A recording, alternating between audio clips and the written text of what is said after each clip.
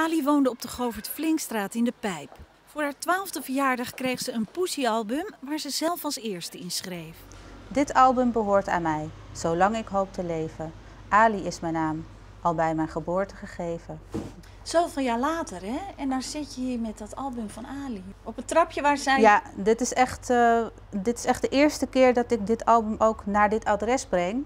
En uh, ja, ik vind het echt heel bijzonder, want uh, zij liep hier dus...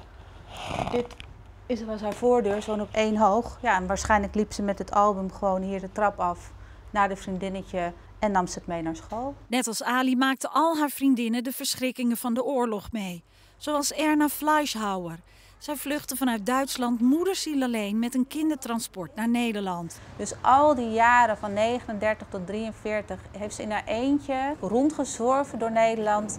En is ze uiteindelijk hier op de Herman Eltschool in de Van Ostadestraat gekomen. En is ze bij Ali in de klas gekomen. En dat vond ik zo bijzonder, want dan denk je van ja, dat meisje helemaal alleen. En dat ze dan toch nog wel heeft kunnen leren en dan nog een vriendin heeft kunnen maken. Vond ik toch wel echt heel, uh, heel indrukwekkend. Erna werd uiteindelijk, net als Ali en haar moeder, vermoord in Sobibor. Ali's oudere zus Greta overleefde de oorlog wel. Het enige dat ze van hen terugvond waren wat foto's en het Poesie-album. Er woonde gewoon iemand anders in een huis. En toen is ze hier bij de buurvrouw hier op uh, beletage is ze ingetrokken een tijdje. Ja, dan moet je je voorstellen, dan ben je alles kwijt.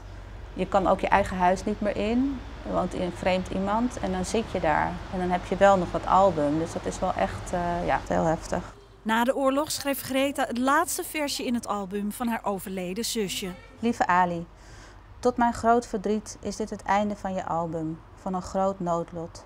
Je bent wel dood, maar nooit en te nimmer zal ik jou vergeten. Jij blijft steeds in mijn hart.